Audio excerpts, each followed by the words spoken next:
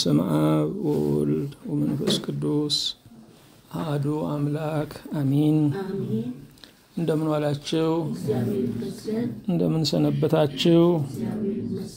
ምሕረቱ ብዙ የሚሆን በቸርነቱ ይህንን ጊዜ የሰጠን እግዚአብሔር ስሙ የተመሰገነ ይሁን። በእግዚአብሔር ቸርነት የትምህርታችን ርዕስ የደብረ ታቦር ምስጢር የሚል ነው። የማቴዎስ ወንጌል ምዕራፍ 17 ከቁጥር አንድ ጀምሮ ያለውን በጸሎት መንፈስ ሆነን እናነባለን። ከስድስት ቀንም በኋላ ኢየሱስ ጴጥሮስንና ያዕቆብን ወንድሙንም ዮሐንስን ይዞ ወደ ረጅም ተራራ ብቻቸውን አወጣቸው። በፊታቸውም ተለወጠ፣ ፊቱም እንደ ፀሐይ በራ፣ ልብሱም እንደ ብርሃን ነጭ ሆነ። እነሆም ሙሴና ኤልያስ ከእርሱ ጋር ሲነጋገሩ ታዩአቸው። ጴጥሮስም መልሶ ኢየሱስን ጌታ ሆይ በዚህ መሆን ለእኛ መልካም ነው። ብትወድስ በዚህ ሦስት ዳስ አንዱን ለአንተ፣ አንዱንም ለሙሴ፣ አንዱንም ለኤልያስ እንስራ አለ። እርሱም ገና ሲናገር እነሆ ብሩህ ደመና ጋረዳቸው። እነሆም ከደመናው በእርሱ ደስ የሚለኝ የምወደው ልጄ ይህ ነው፣ እርሱን ስሙት የሚል ድምፅ ወጣ። ደቀ መዛሙርቱም ሰምተው በፊታቸው ወደቁ፣ እጅግም ፈርተው ነበር። ኢየሱስም ቀርቦ ዳሰሳቸውና ተነሱ፣ አትፍሩም አላቸው። ዓይናቸውንም አቅንተው ሲያዩ ከኢየሱስ ብቻ በቀር ማንንም አላዩም። ሁሉን የያዝ ሁሉን የምትገዛ የጌታችን የመድኃኒታችን የኢየሱስ ክርስቶስ አባት እግዚአብሔር ሆይ እናመሰግንሃለን። ዛሬም ለሕዝብ በስምህ ለተጠሩት ቃል ያለህ እግዚአብሔር ምስጋና አክብሮት ለአንተ እናቀርብልሃለን። ጌታ ሆይ ያልነገርን የሰወርንብህ የሸሸግንህ አንዳች ነገር የለም። በፊትህ ሁላችን እንደተገለጠ መጽሐፍ የምንነበብ ጓዳችንና ገበናችንም ሁሉ እንደ ገበታ በፊትህ የተራቆተ ነውና አይተህ የምትሸፍነን አምላክ ክብር ምስጋና ለአንተ ይሁን። ስለ ቸርነትህ ዕለት ዕለት አንተን ማወቅ እንዲበዛልን ምስጢርህም እንዲሰፋልን ልባችን እንዲያፈቅርህ ሁለመናችን ለአንተ ክብር እንዲኖር አቤቱን ማልዳሃለን። ሀገሩን ሕዝቡን በቸርነትህ እንድታስብ የምንሰማው የምናየው ሁሉ በአንተ ቃል ኪዳን እንዲጣፍጥ አቤቱን ለምንሃለን።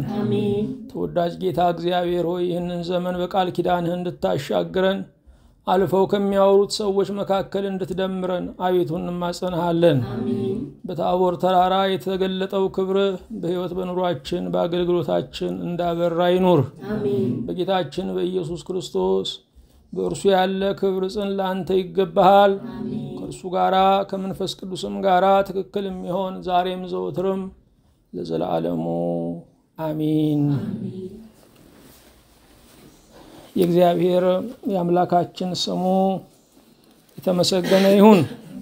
የትምህርታችን ርዕስ የደብረ ታቦር ምስጢር የሚል ነው። የደብረ ታቦርን ሁነት ቅዱስ ማቴዎስ፣ ቅዱስ ማርቆስ፣ ቅዱስ ሉቃስ በሰፊው ዘግበውልናል። በቤተልሔም ማደሪያ ያጣው ክርስቶስ ሀገር አልባ ሁኖ የተሰደደው ክርስቶስ በድሆች መንደር በናዝሪት ከምስኪኖች ጋር ተራቁቶ ያደገው ክርስቶስ ከደቀ መዛሙርቱም ጋር ሲኖር ማደሪያ ቤት እንኳ የሌላቸው በየተራራው በየጫካው እያደሩ አብረውት የኖሩ ክርስቶስ ራሱን የሰወረ መለኮታዊነት ያለው አምላክነቱ ከእርሱ ጋር የሆነ ኃያል ገናና መሆኑ በደብረ ታቦር ተገልጧል። በቤተ ክርስቲያን አበይት በዓላት ተብለው የሚጠሩ የጌታችን የኢየሱስ ክርስቶስ ማክበሪያ ቀናት አሉ። ከዘጠኙ አበይት በዓላት አንዱ ደብረ ታቦር ነው። በደብረ ታቦር ጌታችን ኢየሱስ ክርስቶስ ብርሃነ መለኮቱን ክብረ መንግስቱን ገልጧል። እርሱ ብርሃነ መለኮቱን ክብረ መንግስቱን የገለጠው ለሚጠራጠሩት አልነበረም። እርሱ ክብረ መንግስቱን ብርሃነ መለኮቱን የገለጠው ለሚያምኑት ነው። ለተቃዋሚዎች ልኩን ለማሳየት አንድም ቀን ተአምራት ሲያደርግ አይታይም። እግዚአብሔር አይሰጋምና ለሚቃወሙት መልስ አይሰጥም። እርሱ ግን ለሚያምኑት በትህትና ለቀረቡት ለናፈቁት ራሱን የሚገልጥ የመገለጥ አምላክ ነው። በደብረ ታቦር ብዙ ምስጢራት ተከናውነዋል። ያንን የቅዱስ ማቴዎስን ዘገባ ይዘን ለማየት እንሞክራለን። ከስድስት ቀንም በኋላ ይላል የማቴዎስ ወንጌል ምዕራፍ 17 ቁጥር 1 ከስድስት ቀንም በኋላ ኢየሱስ ጴጥሮስንና ያዕቆብን ወንድሙንም ዮሐንስን ይዞ ወደ ረጅም ተራራ ብቻቸውን አወጣቸው። ከጌታችን ከኢየሱስ ክርስቶስ መቶ ሀያ ቤተሰብ አስራ ሁለቱ ደቀ መዛሙርት ቅርብ ናቸው። ከአስራ ሁለቱ ደቀ መዛሙርት ሦስቱ ጴጥሮስ፣ ዮሐንስና ያዕቆብ የምስጢር ደቀ መዛሙርት ይባላሉ። ጌታችን ኢየሱስ ክርስቶስ ሁሉን የሚገልጥላቸው ደቀ መዛሙርት ነበሩ። ከወዳጅም ወዳጅ እንዳለው ከደቀ መዝሙርም ደቀ መዝሙር አለው። ጌታችን መድኃኒታችን ኢየሱስ ክርስቶስ በፊልጶስ ቂሳርያ ሰዎች የሰውን ልጅ ማን ይሉታል ብሎ ጠይቆ ነበረ። ለዚህም ሐዋርያው ቅዱስ ጴጥሮስ ምላሽ ሰጠ። አንተ ክርስቶስ የሕያው የእግዚአብሔር ልጅ ነህ አለው። እውነት እልሃለሁ ይህንን ሥጋና ደም አልገለጠልህም በሰማያት ያለው አባቴ እንጂ አለው። የመለኮት ነገር በምርምር የሚገኝ አይደለም። በሰዋዊ ፍለጋ ይበልጥ የሚሰወር ነው። እግዚአብሔር የሚታወቀው በመገለጥ ነው። መጽሐፍ ቅዱስ የምንለው አስተርእዮተ እግዚአብሔር ነው። የእግዚአብሔር መገለጥ ነው። መገለጥ በእምነት የሚቀበሉት ነው። ቅዱስ ጴጥሮስ በፊልጶስ ቂሳርያ የጌታችን የኢየሱስ ክርስቶስን ፍጹም ሰውነት፣ ፍጹም አምላክነት መሰከረ። በደብረ ታቦር ለእምነቱ ሽልማት ተሰጠ።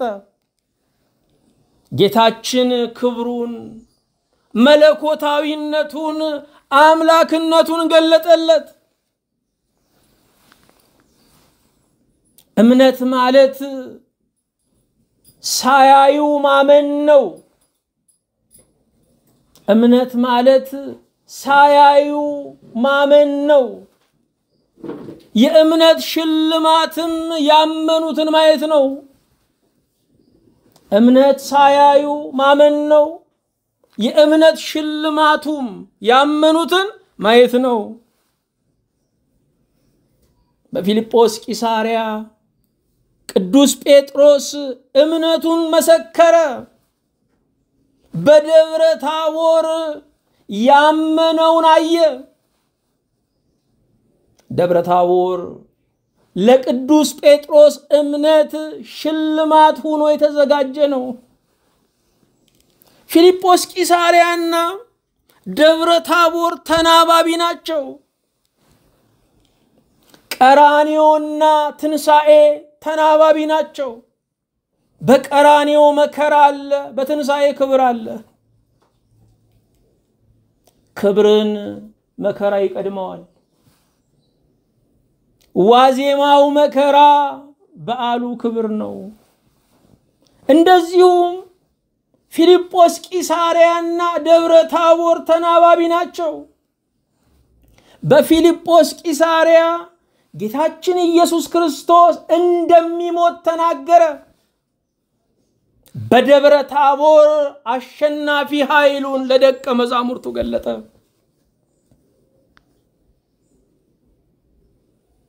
ደብረ ታቦርና ዮርዳኖስም ተናባቢ ናቸው። ጌታችን ኢየሱስ ክርስቶስ በዮርዳኖስ ሲጠመቅ ምስጢረ ሥላሴ ተገለጠ።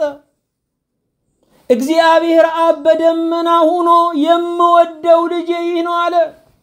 መንፈስ ቅዱስ በአምሳለ ርግብ ወረደ። በደብረ ታቦርም ጌታችን ኢየሱስ ክርስቶስ በለቢሰ ሥጋ ይታያል። እግዚአብሔር አብ የምወደው ልጄ እርሱ ነው፣ እርሱን ስሙት አለ። መንፈስ ቅዱስ በብሩህ ደመና ተገለጠ። ደብረ ታቦርና ዮርዳኖስ ምንድን ናቸው? ተናባቢ ናቸው።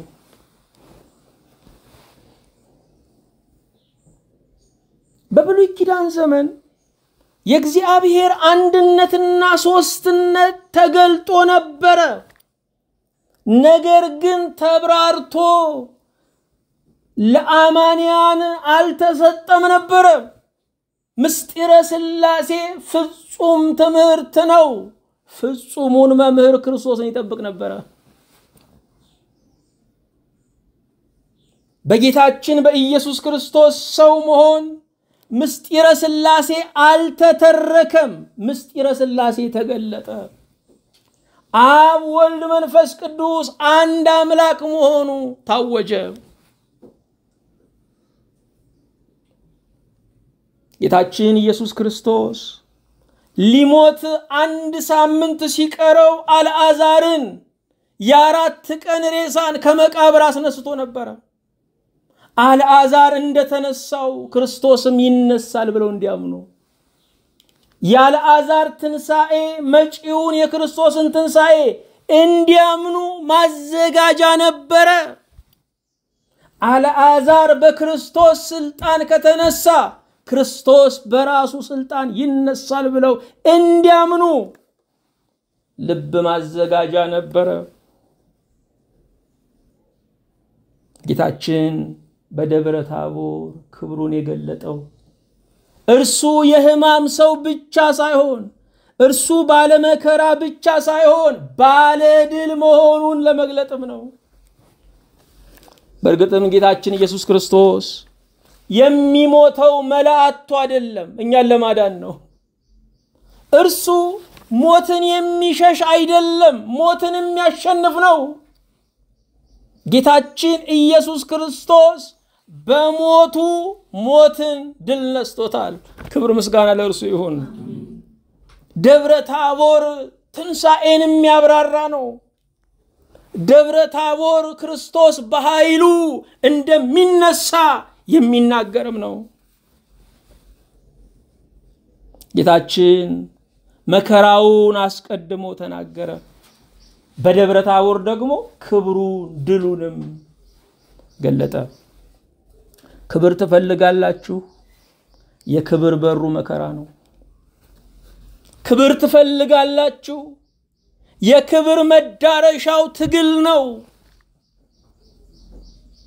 ዋዜማው መራራ ካልሆነ በዓሉ ጣፋጭ አይሆንም።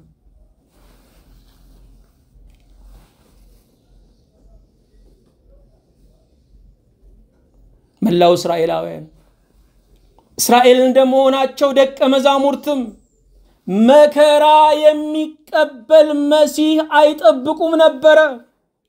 የሚጠብቁት መሲህ የጦር ሰው አሰባስቦ ሮማውያንን ድል ነስቶ የእስራኤልን ክብር አስመልሶ በዳዊት ዙፋን ላይ የሚነግሰው ነበረ። ይህኛው መሲህ መከራ አለብኝ ሲል ግራ ተጋቡ።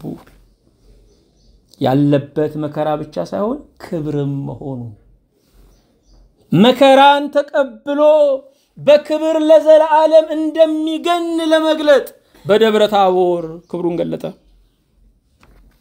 በሀገራችን ደብረ ታቦር ተብሎ የሚጠራ ከተማ አለ። ታቦር ተብሎ የሚጠራ ደግሞ ተራራ አለ። በሀገራችን በቅዱሳት መካናት ስም ከተማዎች መሰየማቸው የተለመደ ነው። አንጾኪያ የሚባል ሀገር አለ። ኤፌሶን የሚባል ሀገር አለ። ፈረንጆቹ ሜሪላንድ እንደሚሉት ሀገረ ማርያም አለ። ሀገራችን ሁለተኛይቱ እስራኤል እንድትሆን ነገስታቱ ጭምር ይጥሩ ነበረ። ደብረ ታቦር ከተማ የተሰየመለት ደብረ ታቦር በየዓመቱ ነሐሴ 13 ቀን የሚዘከር ነው። ደብረ ታቦርን በሚመለከት ሦስቱም ወንጌላውያን ዘግበውልናል። ቅዱስ ማቴዎስ በምዕራፍ 17 ላይ ዘግቧል። ቅዱስ ማርቆስ ደግሞ በምዕራፍ 9 ቁጥር 2 እስከ 13 ይተርካል።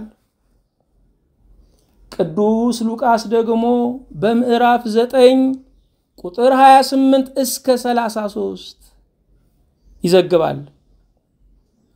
ከስድስት ቀንም በኋላ ቅዱስ ማቴዎስና ቅዱስ ማርቆስ ከስድስት ቀንም በኋላ ሲሉ ሉቃስ ግን በዘገባው ስምንት ቀን ያህል ቆይቶ ይላል። ከስድስት ቀን በኋላ ስምንት ቀን ያህል ቆይቶ ምን ማለት ነው? በፊልጶስ ቂሳሪያ የክርስቶስ አምላክነትና ሰውነት ከተመሰከረ ከስድስት ቀን በኋላ በደብረ ታቦር ክብሩን ገለጠ። ስምንት ቀን ያህል ቆይቶ ክብሩን ገለጠ። ስድስትና ስምንት አይቃረኑም ወይ? ማቴዎስና ማርቆስ ከስድስት ቀን በኋላ ሉቃስ ደግሞ ስምንት ቀን ያህል ቆይቶ ይላል። ሁለቱም አይቃረኑም።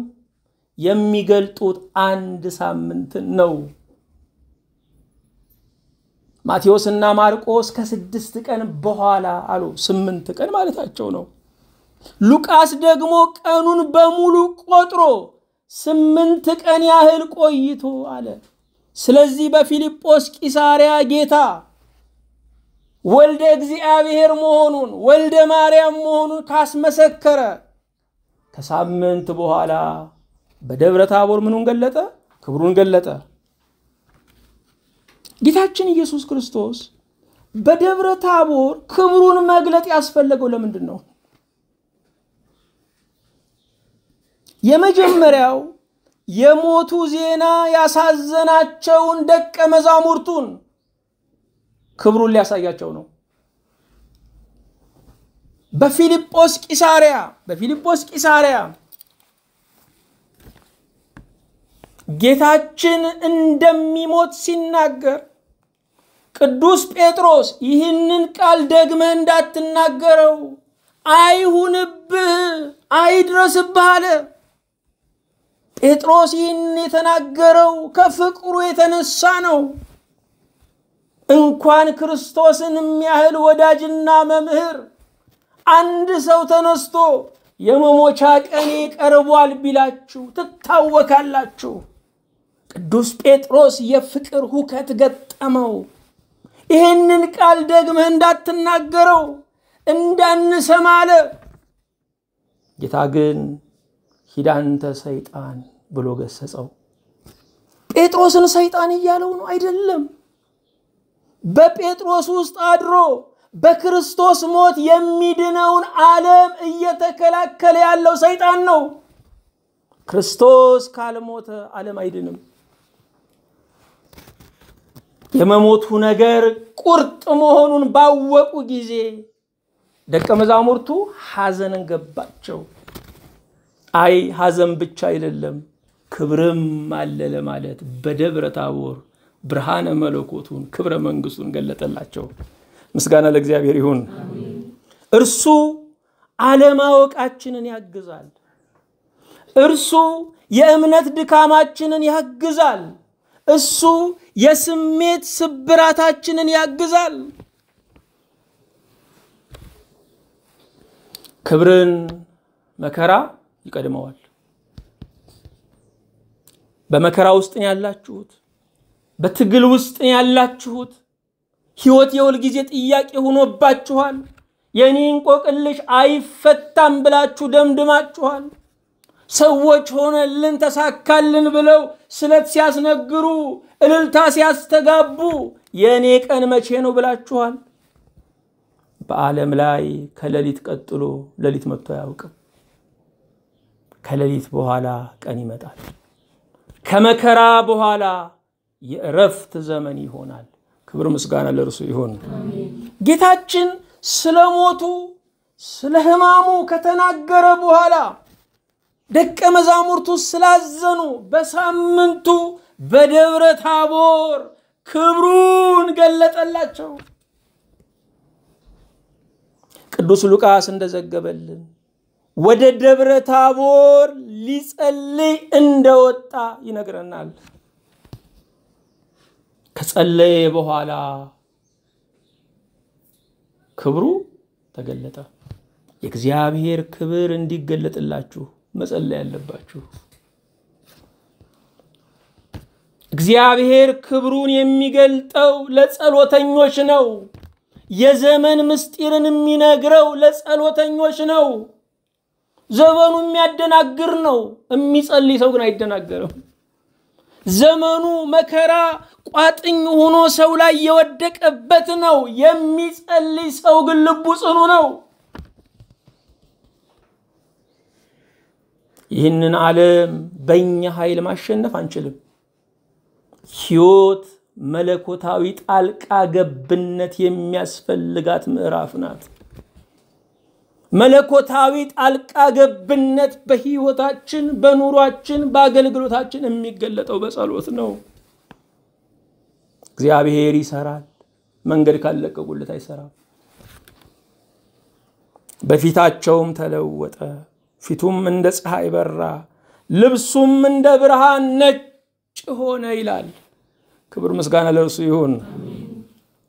ያ በድሃ አርአያ የሚታየው ያ የናዝሬቱ ምስኪን ያ በበረት የተወለደው ያ ከብቶች እስትንፋሳቸውን የለገሱት ያ እናቱ የምታለብሰው ያጣችለት ፍጹም ነዳይ ሆኖ በዓለም ላይ የተገለጠው እርሱ ለካ በድህነቱ ውስጥ ብልጥግና አለ።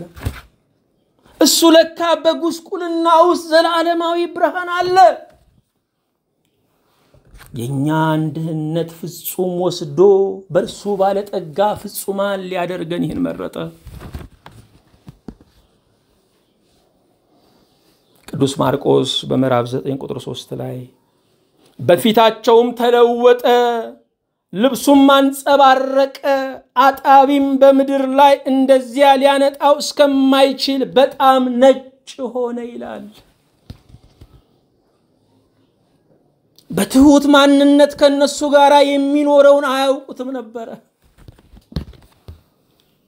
የመለኮት ብርሃኑን የእሳት ፍንጣሪ ያህል ነው የገለጠላቸው። እርሱንም መቋቋም አልቻሉም። እግዚአብሔር የማይታየው አይናፋር ስለሆነ አይደለም፣ አይቶት በሕይወት የሚኖር ፍጡር ስለሌለ ነው። ቅዱሳን መላእክት ቅዱስ ሚካኤል፣ ቅዱስ ገብርኤል፣ ኪሩቤል፣ ሱራፌል በማየት አይደለም የሚያመልኩት፣ በማመን ነው። እግዚአብሔርን በእግዚአብሔርነቱ ክብር አይቶት በሕይወት ሊኖር የሚችል ማንም የለም። የምጣድ ብልጭታ፣ የእሳት ፍንጣሪ፣ የሰናፍጭ ቅንጣት ታህል ክብሩን ሲገልጥላቸው እንደ በድን ሆኑ።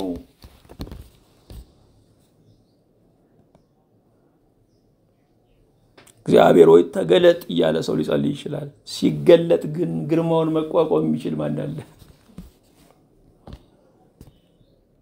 ልብ አድርጎ ሙሴ ከተራራው በወረደ ጊዜ መልኩ ስላንጸባረቀ እስራኤል ፊትህን ሸፍንልን አሉት። የሙሴ ክብር ከውጭ ወደ ውስጥ የሚገባ ነው። የክርስቶስ ክብር ግን ከውስጡ የሚገለጥ ነው። ክርስቶስ ክብሩ የባህሪው ነው። የሙሴ ክብር የጸጋ ነው። እማያከብሩት ክቡር ነው። እማይሾሙት ንጉሥ ነው። የማያበድሩት ባለጠጋ ነው።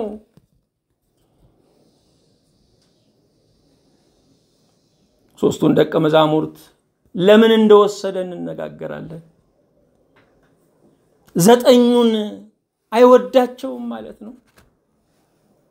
ለዘጠኙ ቦታ አልነበረውም ማለት ነው። በእርሱ መምህርነት፣ አባትነት፣ ጌትነት አድሎ አለ ማለት ነው አይደለም።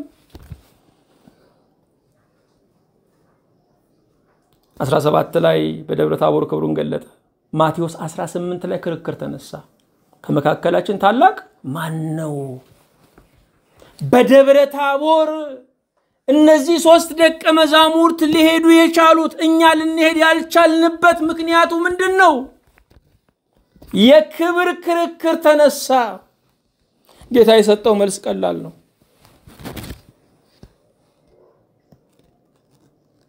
የመክበር ምስጢሩ ማነስ ነው። ካልተመለሳችሁ እንደ ሕፃናትም ካልሆናችሁ ወደ እግዚአብሔር መንግሥት አትገቡም።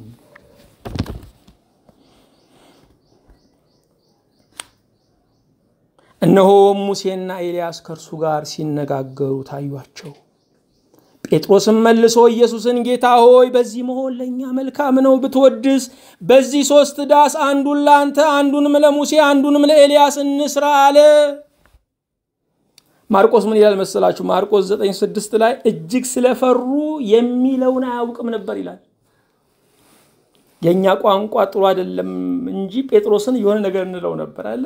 እየቃዠ ነበረ። የሚለውን አያውቅም ነበረ። ሉቃስም ምዕራፍ 9 ቁጥር 33 ላይ የሚለውን አያውቅም ነበር ይላል።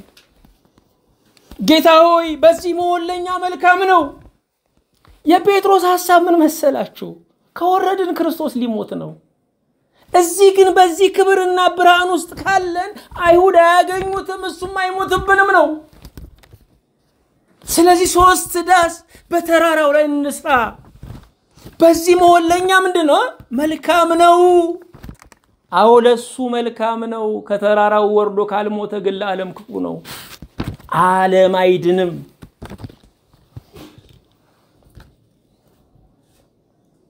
ሙሴና ኤልያስ ተገለጡ። ሙሴ ከመቃብር ተነስቶ ኤልያስ ከብሔረ ሕያዋን መጥቶ በደብረ ታቦር ተገናኙ። ኤልያስ አልሞተም። በሕይወት እያለ ነው በእሳት ሰረገላ የተነጠቀው። ኤልያስ በብሔረ ሕያዋን የሚኖር ሙሴ በመቃብር የነበረ መቃብሩን ግን እግዚአብሔር ብቻ የሚያውቀው ሰው ነው። ሙሴና ኤልያስ መሆናቸውን በምን አወቁ? ከሙሴ ጋር ቢያንስ የአንድ ሺህ ስድስት መቶ ዓመት ርቀት አላቸው። ከኤልያስም ጋር የመቶዎች ዓመታት ርቀት አላቸው። ሙሴና ኤልያስ መሆናቸውን በምን አወቁ? የመለኮት ክብር ስለተገለጠ አለማወቅ ድል ይነሳል። በሰማይ ስትሄዱ አዳምን ትለዩታላችሁ። አብርሃም ይሄ ነው ትለዩታላችሁ። እመቤታችን ድንግል ማርያም እቺ ናት ትለዩታላችሁ። ከስጋ መጋረጃ ስንወጣ እውቀታችን ሙሉ ይሆናል።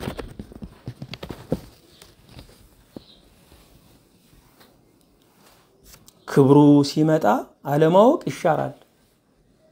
ክብሩ ሲመጣ እኔ አይምሮዬ አይዝም ድንዙዝ ነው የምንለው ያበቃል። ስል አይምሮ እግዚአብሔርን አይረዳው። እግዚአብሔር ሲገለጥም ደግሞ ሊቃውንት እየተሰወረባቸው አላዋቂዎች ይረዱታል። እግዚአብሔር ይመስገን። እግዚአብሔርን ማወቅ ትፈልጋላችሁ? ትሑት ሁኑ። እግዚአብሔርን ማወቅ ትፈልጋላችሁ? ጸልዩ። እግዚአብሔርን ማወቅ ትፈልጋላችሁ? ራሳችሁን ዝቅ አድርጉ። እግዚአብሔርን ማወቅ ትፈልጋላችሁ? ባዶ ሁኑ። እግዚአብሔር ግማሽ ሙሉን ሞልቶ አያውቅም። ባዶውን ነው የሚሞላው። አንዳንድ ሰው ግማሽ ሙሉ ነው። እኔ እኮ እውቀት አለኝ፣ እኔ እኮ ማስተዋል አለኝ፣ እኔ እኮ እንዲህ አለኝ እያለ ወረቀቶቹን ይዘረዝራል። ሙሴና ኤልያስ ለምን ተገለጡ? ሙሴ ሕግን ነው የሚወክለው። ኤልያስ ደግሞ ነቢያትን ነው የሚወክለው። በሕግና በነቢያት ምን ማለት ነው? በመላው ብሉይ ኪዳን የተመሰከረው ስለ ክርስቶስ ነው። መላው ብሉይ ኪዳንን የሚወክሉ ሰዎች ነበሩ። ማንና ማን ስንል ሙሴና ኤልያስ መላውን ብሉይ ኪዳንን የሚወክሉ ሰዎች ነበሩ። ስለዚህም ሙሴና ኤልያስ ተገለጡ። ሙሴና ኤልያስ የክርስቶስን ታላቅነት መሰከሩ። ሙሴ እስራኤልን ከባርነት ቤት ያወጣ ነው። የፋሲካው በግ ከታረደ በኋላ እስራኤል ነፃ ወጡ።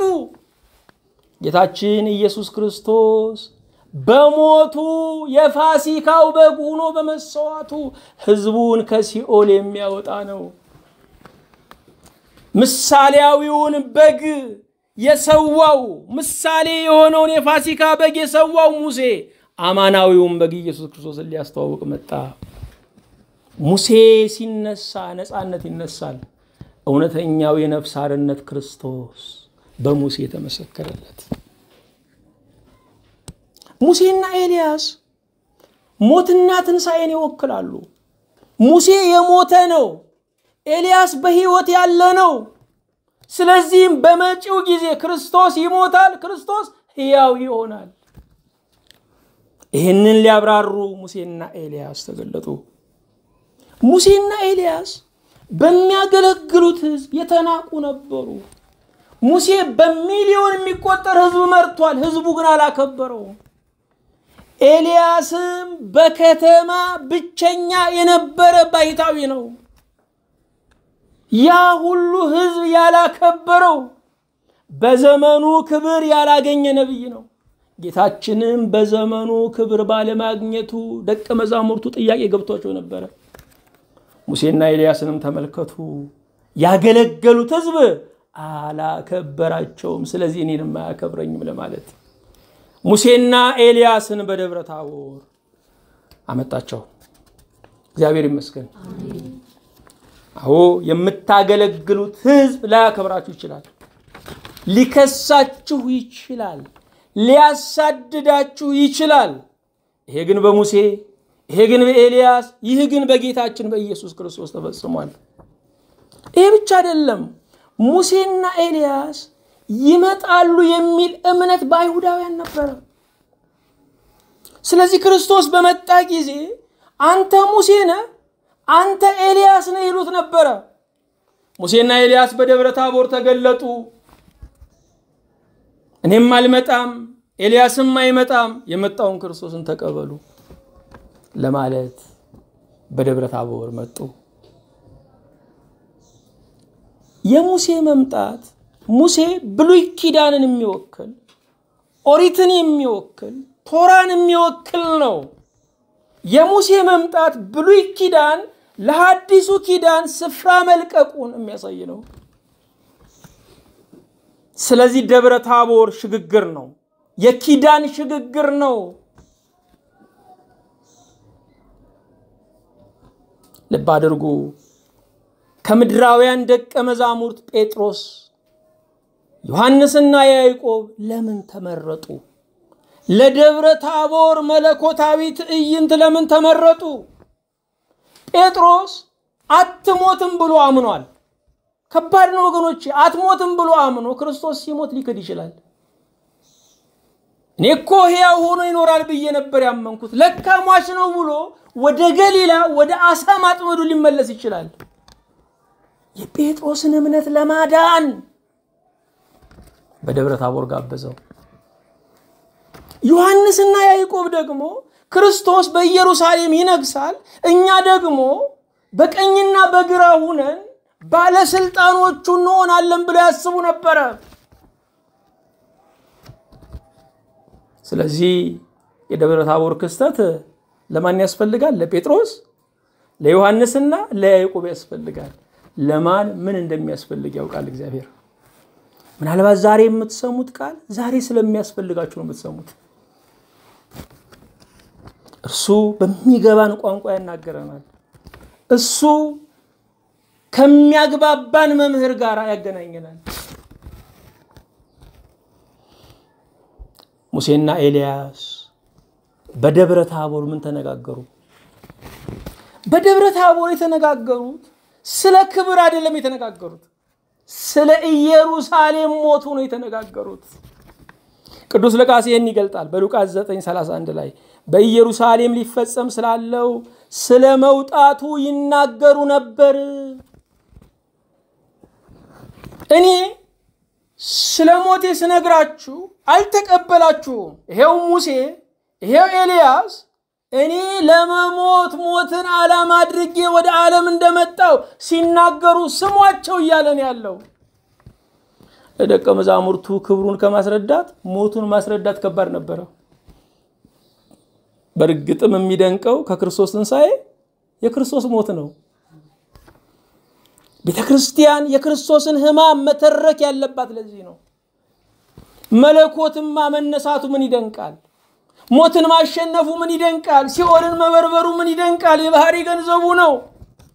ባህሪው ያልሆነውን ሞትን ስጋን ለብሶ መቅመሱ ግን ይገርማል። እማይሞተው ሞተ። ጴጥሮስ አትሙትብን ብሎ መስቀል አልባ መሲህ ፈለገ። ዛሬም ሰዎች የሚፈልጉት ይህንን ነው አይደለም? የሚፈውስ ባለጠጋ የሚያደርግ ክርስቶስ ነው የሚፈልጉት። እርሱ ግን ምን አለ? በዓለም ሳላችሁ መከራ አለባችሁ። በዓለም መኖራችሁ ብቻውን ለመከራ ብቁ ያደርጋችኋል። ክርስቲያን ስለሆናችሁ ስላልሆናችሁ አይደለም። ወፍጮ ቤት ገብቶ ዱቄት ሳይነካው የሚወጣ የለም። በመከራ ዓለም ተገኝቶ መከራ ሳያገኝ የሚቀር የለም። ሾና ሜኬላ ይብቀልብሽ ተብላ በተረገመች ምድር ላይ ሳትደሙ መኖር አትችሉ። አንዳንዴ የሚያደሟችሁ የቅርብ ዘመዶቻችሁ፣ ወዳጆቻችሁ ናቸው። ቀስት ሁሉ ወደ ክርስቶስ ያመለክታል። ሙሴ ወደ ክርስቶስ፣ ኤልያስ ወደ ክርስቶስ፣ እግዚአብሔር አብ ወደ ክርስቶስ፣ ጌታ መንፈስ ቅዱስ ወደ ክርስቶስ ያመለክታሉ። እመቤታችን የሚያለችው ይህን አይደለ? የሚላችሁን ሁሉ አድርጉ። ሙሴና ኤልያስ ምሕረትና ፍርድን ያመለክታሉ። ሙሴ ሕዝብህን ማር ሕዝብህን ከምትቀጣ እኔን ከሕይወት መጽሐፍ ደምስሰኝ ብሏል። በዘጸአት 33 እንደምናነበው ሕዝብ ከሚጠፋ እኔ ከሕይወት መጽሐፍ ስሜ ይጥፋ አለ። አይ ያጠፋውን አጠፋለሁ እንጂ አንተንማ ለምን እነካሃለሁ አለ። ኤልያስ ደግሞ ለእግዚአብሔር አምልኮ ቀንቶ ሶስት ዓመት ከስድስት ወር ሰማይ ናስ እንዲሆን ምድር እንዲደርቅ ገዝቷል። ሙሴ ምሕረትን፣ ኤልያስ ፍርድን ያመለክታሉ። ክርስቶስ ለሚያምኑት ምሕረት ነው፣ ለማያምኑት ፍርድ ነው።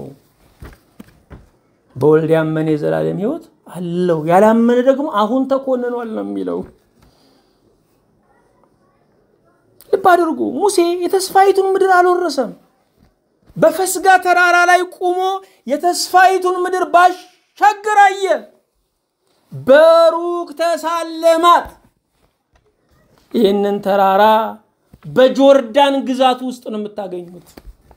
እዚያ ተራራ ላይ ቆሜ ኢየሩሳሌምን ለማየት ናፍቅ ነበረ። እግዚአብሔር በትክክልም የመረጠው ቦታ ኢየሩሳሌም የምትታይበት ቦታ ነበረ። ያ ተራራ ሙሴ በሩቅ የተሳለማትን ኢየሩሳሌምን በሩቅ የተሳለማትን ምድረ እስራኤልን በደብረ ታቦር በእግሩ ቆመባት። እግዚአብሔር በሩቅ ያመነውን ቅርብ ያደርገዋል። ክብር ለእርሱ ይሁን። በሩቅ ያመነውን እርሱ ምን ያደርገዋል? በቅርብ ያደርገዋል። ይሄ ብቻ አይደለም። አስራ ሁለት ላይ እንደምናነበው ሙሴን የገዛ ዘመዶቹ ተቃወሙት። ማርያምና አሮን እህተ ሙሴ ማርያም እና ወንድሙ አሮን ተቃወሙ። እግዚአብሔር ለሙሴ መሰከረ። ሙሴ ማለት እንደ ሌላው ነቢይ በሕልምና በራእይ እንዳይመስላችሁ መገለጥለት ፊቴን ያያል አለ። ሙሴን ፊትህን አሳየኝ እያለ ለዘመናት ይለምን ነበረ። ጌታ ግን ፊቴን አይቶ የሚድን የለምና አልሰማህም አለው። እግዚአብሔር ሊታይበት በሚችል በስጋ አርአያ በተገለጠ ጊዜ የሙሴን ጸሎት አስታወሰ። የሁለት ሺህ ዓመት ጸሎት የሚያስታውስ እግዚአብሔር ቃል ኪዳኑን አስታወሰ። ሙሴ የእግዚአብሔርን ፊት ያያል የሚለውን ሙሴን ከመቃብር ቀስቅሶ ፊቱን አሳየው። ጸሎታችሁን ለምን ትፈራላችሁ? ልመናዬ ሳይሳካ ልሞት ነው ብላችሁ ትሰጋላችሁ። እግዚአብሔር ግን ከሞት ቀስቅሶ የአንድ ሺህ ስድስት መቶ ዓመታትን ጸሎት ይመልሳል። የእግዚአብሔር ጆሮዎች ጸሎትን አይረሱም። ክብር ምስጋና ለእርሱ ይሁን። ሙሴና ኤልያስ ከክርስቶስ መምጣት ጋር ስራ አላቸው። ሙሴ አስቀድሞ ስለ ክርስቶስ መምጣት ትንቢት ተናግሯል። ፍጻሜው እሱ ነው ለማለት መጣ። ስለ ኤልያስም የተነገረ ትንቢት ነበረ። ክርስቶስ ከመምጣቱ በፊት ኤልያስ ይመጣል። በሚልኪያስ አራት ቁጥር ሶስት ላይ እነሆ ታላቅና የሚያስፈራ የእግዚአብሔር ቀን ሳይመጣ ነቢዩ ኤልያስን እልክላችኋለሁ፣ መጥቼ ምድርን በእርግማን እንዳልመታ እርሱ የአባቶችን ልብ ወደ ልጆች የልጆችን ልብ ወደ አባቶች ይመልሳል ተብሎ ትንቢት ተነግሮ ነበረ። ኤልያስ በዛ ዘመን የመጣው በአገልግሎቱ ነው። በማን በዮሐንስ መጥምቅ በኩል። በመጨረሻው ዘመን ራእይ 11 እንደሚነግረን ኤልያስ ይመጣል። ኤልያስ አራት ኪሎ መጥቷል የሚሉ ሰዎች እየሰማን ነው አይደለም? አራት ኪሎ አካባቢ መጥቷል እያሉ የሚያውጁ ሰዎች አሉ። ኤልያስ በመጨረሻው ቀን እንደሚመጣ ኤልያስ ብቻ አይደለም፣ ኤልያስና ሄኖክ በራእይ 11 ላይ ሁለቱ ወይራዎች ተብለው ተገልጠዋል። የሚመጡት በምድረ እስራኤል ላይ ነው። ኤልያስና ሄኖክ ሞትን አልቀመሱም። ስጋ የለበሰው ሁሉ ሞትን መቅመስ ግዱ ነው። ክርስቶስ እንኳ በለበሰው ስጋ ሙቷል። መስክረው ሰማዕት ለመሆን ይመጣሉ። ስለዚህ ኤልያስ ከክርስቶስ ምጽአት ጋር የተያያዘ ታሪክ አለው። በመጀመሪያ ምጽአቱም በመጨረሻው ምጽአቱ።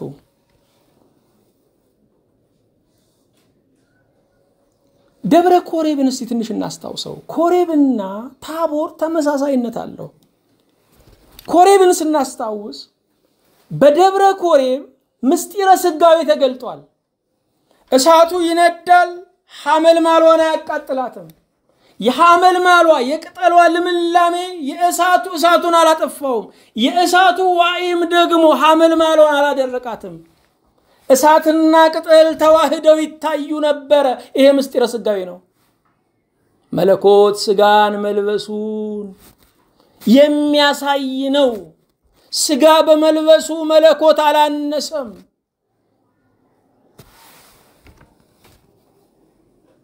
መለኮትና ትስብእት ተዋህደው በደብረ ኮሬብ ይታያሉ። በደብረ ኮሬብ ሙሴ አለ። ሙሴ በደብረ ኮሬብ ተጠራ። ሙሴ አስርቱ ትእዛዛትን በደብረ ኮሬብ ተቀበለ። ኤልያስ ተስፋ በቆረጠ ጊዜ ወደ ደብረ ኮሬብ ወደ ሃይማኖት መነሻ ወደ ትእዛዛት መነሻ ልገስግስ ብሎ ጉዞ ጀመረ። በአንደኛ ነገሥት በምዕራፍ 19 እንደምናገኘው ስለዚህ ደብረ ኮሬብ ላይ ክርስቶስ አለ፣ ሰው የሆነው አምላክ። ደብረ ኮሬብ ላይ ሙሴ አለ። ደብረ ኮሬብ ላይ ማን አለ? ኤልያስ አለ። ደብረ ታቦር ዳግሚት ኮሬብ ሆነ። ደብረ ታቦር ብዙ ምስጢር አለው፣ ብዙ ምስጢር አለው። በኮሬብ ደመና ነበረ፣ በደብረ ታቦርም ብሩህ ደመና ተገለጠ። በኮሬብ መብረቅ ነበረ በደብረ ታቦርም ልብሱ እንደ መብረቅ ሆነ ይላል። በደብረ ኮሬብ የእግዚአብሔር ድምፅ ነበረ። በደብረ ታቦርም የምወደው ልጄ ይህ ነው የሚል የመለኮት ድምፅ ነበረ። እግዚአብሔር ይመስገን። አዎ የሙሴን ሕግ እየጠቀሱ ክርስቶስን ይቃወሙት ነበረ። እራሱ ሙሴ መጣ። እመኑት እንጂ ለምን ትቃወሙታላችሁ አለ። በትንቢት እየናፈቁ በመገለጥ እንዴት ይቃወሙታል? ኤልያስ ይመጣል እያሉ ይጠብቁት ነበረ። አይ የሚመጣው ክርስቶስ ነው፣ እሱን ተቀበሉት ለማለት ኤልያስ መጣ። በደብረ ታቦር ነቢያትና ሐዋርያት ተገናኙ። የነቢያትና የሐዋርያት አገልግሎት አንድ ነው። እሱም ክርስቶስን ለዓለም ማስተዋወቅ ነው። ከነቢያት ሁለቱ ሙሴና ኤልያስ፣ ከሐዋርያት ሦስቱ በደብረ ታቦር ተገናኙ። የሙሴ ትንቢትም ተፈጸመ። ዘዳግም 18 ቁጥር 18 ላይ ከወንድሞቻችሁ መካከል እንዳንተ ያለ ነቢይ ያስነሳላቸዋለሁ፣ ቃሌንም በአፉ አደርጋለሁ፣ ያዘዝኩትንም ሁሉ ይነግራቸዋል። በስም የሚናገረውን ቃሌን የማይሰማውን ሰው እኔ እበቀልለታለሁ ተብሎ ስለ ክርስቶስ ተነግሮ ነበረ። የሙሴ ትንቢት ዛሬ ተፈጸመ። በየት? በደብረ ታቦር። አዎ ጌታችን ሞትን ያሸንፈዋል እንጂ ሞትን አይሸሸውም። ክብር ምስጋና ለእርሱ ይሁን። በአዲስ ኪዳን ውስጥ ምስጢር የተገለጠባቸው ብዙ ተራራዎች አሉ። አንደኛው የክርስቶስ ሕገ መንግሥት የተተረከበት ደብረ ብፁዓን ነው። የብፁዓን ተራራ ነው። የተራራው ስብከት የተነገረበት።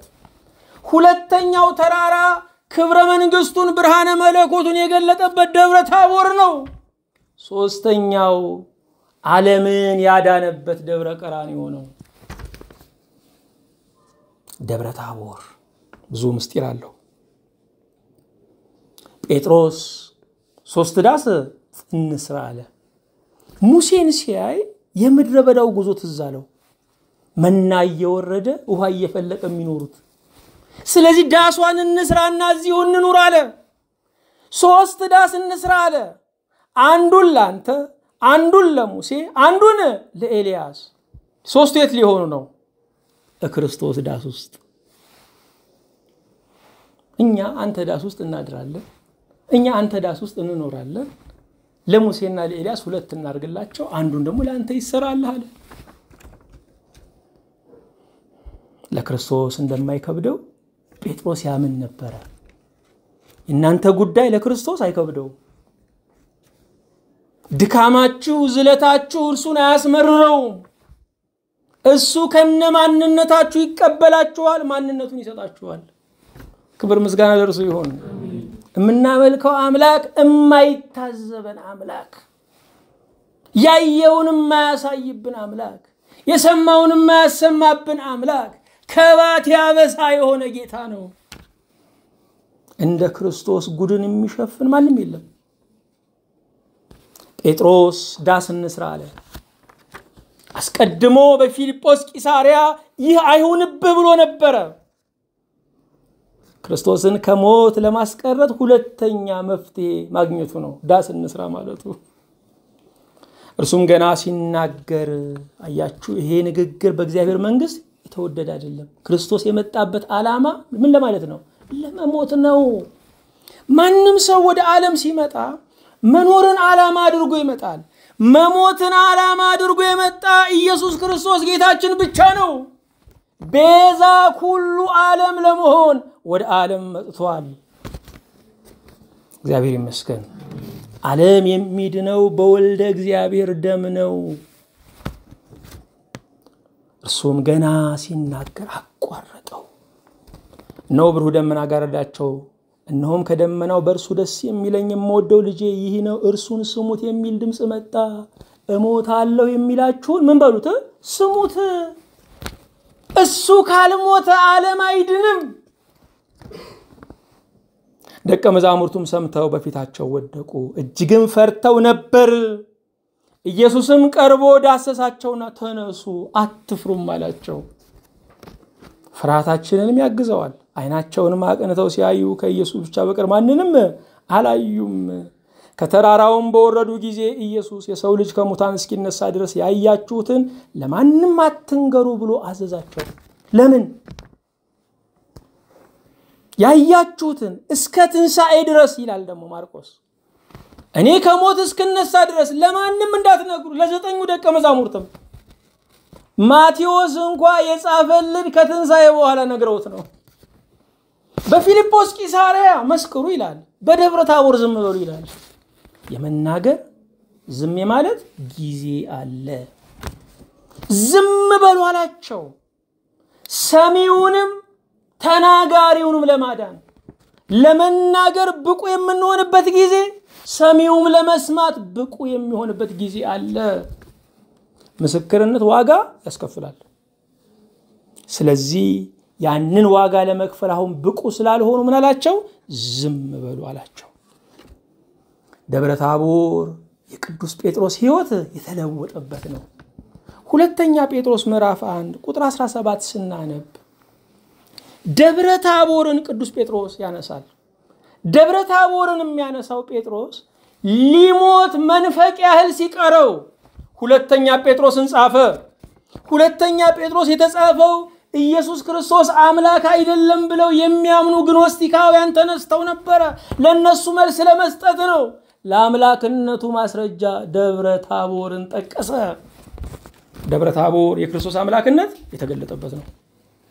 ሁለተኛ ጴጥሮስ ምዕራፍ 1 ቁጥር 17 ከገናናው ክብር በእርሱ ደስ የሚለኝ የምወደው ልጄ ይህ ነው የሚል ያ ድምፅ በመጣለት ጊዜ ከእግዚአብሔር አብ ክብርንና ምስጋናን ተቀብሏልና እኛም በቅዱሱ ተራራ ከእርሱ ጋር ሳለን ይህንን ድምፅ ከሰማይ ሲወርድ ሰማን ይላል። ከሰላሳ ዓመት በኋላ አረሳው። እንደ አሁን ይታሰበው ነበረ። የክርስቶስ የአምላክነቱን ማስረጃ በዓይኔ አይቻለሁ፣ በጆሬ ሰምቻለሁ አለ። ከዘጠኙ አበይት በዓላት አንዱ ምንድን ነው አለ? ደብረ ታቦር ይገባዋል አደለ? ደብረ ታቦር ነው። ከጌታ አበይት በዓላት አንዱ ደብረ ታቦር ነው። በባህላችን ቡሄ እያልን እንጠራለን። ቡሄ መላጣ ገላጣ ማለት ነው። ክረምቱ እየሸሸ የሚመጣበት ወቅት ስለሆነ በጋ የሚቃረብበት ወቅት ስለሆነ ብርሃን የሚበራበት የክረምቱ ጨለማ የሚቀልበት ደመናው የሚረግብበት ጊዜ ስለሆነ መላጣ ገላጣ ለማለት ቡሄ ተብሏል። ታዲያ የጅራፍ ድምፅ ያሰማሉ። የጅራፉ ድምፅ የመለኮት ድምፅ በደብረ ታቦር መሰማቱን ለማስታወስ ነው። ጅራፉን ስንሰማ እንደነግጣለን። ሶስቱ ሐዋርያት መደንገጣቸውን ለማሰብ ነው። ችቦ እንለኩሳለን። የመለኮት ብርሃን በደብረ ታቦር ተገለጠ እያልን ነው። ምን እንማራለን? ክርስቶስ አምላክ ነው። እሱ ፍጹም ሰው ፍጹም አምላክ ነው። ልብ አድርጉ። ክርስቶስ አምላክ ባይሆን ኖሮ በቀራንዮ ላይ የፈጸመው መስዋዕትነት ቤዛነት አይባልም፣ ሰማዕትነት ነው የሚባለው። በፍጡር ደም ዓለም መዳን አይችልም። የዳነው ክርስቶስ ስጋ የለበሰ አምላክ ስለሆነ ነው። አምላክነቱ በደብረ ታቦር ተገልጧል። አዎ ክርስቶስ እንደው ሲገለጥ እንደው ዘለን የምናቅፈው ደግሞ አብረን እንደዚሁ ይመስለናል አይደለ? አዎ ፍቅር ነው። እንደዚያ ማሰባችን መልካም ነው፣ ግን ግርማው የማይደፈር ነው። እርሱ የባህሪ አምላክ ነው። ይሄ ብቻ አይደለም። በክርስትና ውስጥ መከራና ክብር ተናባቢ ናቸው። ቀራንዮ ይቀድማል፣ ጎልጎታ ይከተላል። ሞት ይቀድማል፣ ትንሣኤ ይታወጃል። ዛሬም ክርስቶስ በአገልግሎት ይገለጣል። በደብረ ታቦር የተገለጠው ክርስቶስ ዛሬም በአገልጋዮች አንደበት ይገለጣል። ዛሬም በቤተ ክርስቲያን ምስክርነት ይገለጣል። ዛሬም በሚወዱትና ሕይወታቸው በተለወጠ አማንያን ላይ ይገለጣል። በግዑዙ ተራራ አንድ ጊዜ ነው የተገለጠው። ሁለት ሺህ ዓመታት ሕያው ተራራ በሆኑ በክርስቲያኖች ሕይወት ላይ በክርስቲያኖች ኑሮ ላይ ክርስቶስ ይገለጣል። ሕያው ደብረ ታቦር እናንተ ናችሁ። እግዚአብሔር ክብሩን በሕይወታችን፣ በአገልግሎታችን፣ በሀገራችን፣ በቤተ ክርስቲያናችን ይግለጥ። ሁሉን የምትችል አምላካችን ሆይ እናመሰግንሃለን። ስለ ደብረ ታቦር ምስጢርህ እናገንሃለን። እንደ ቸርነትህ አንተን እንደ አምላክነትህ መጠን እናከብርህ እንገዛልህ ዘንድ ጸጋ ምሕረትህን አብዛለን። ያንተ የሆነው መልካም ነገር ሁሉ አይለፈን። በረከተ አብ፣ በረከተ ወልድ፣ በረከተ መንፈስ ቅዱስን አሳደርብን። ሀገሩን ከጥፋት ሕዝቡን ከመከራ ሰውርልን። በጌታችን በኢየሱስ ክርስቶስ በእርሱ ያለ ክብር ጽን ላንተ ይገባሃል። ከእሱ ጋራ ከመንፈስ ቅዱስም ጋራ ትክክል የሚሆን ዛሬም ዘወትርም ለዘላለሙ አሜን።